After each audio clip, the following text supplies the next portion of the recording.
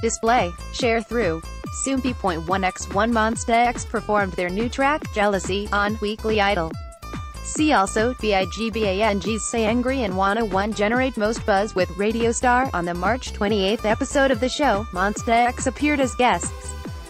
The guys filmed the show back when only the choreography for the chorus had been set, and they hadn't yet got an official description of the song to share. Soompi. News. English English.300x250, BTF Soompi. Mobile. English English.300x250, ATF So when Defconn and Jung Hyung Don asked Shonu to introduce the song, he said he'd just try to describe it himself based on his own impression, which surprised them.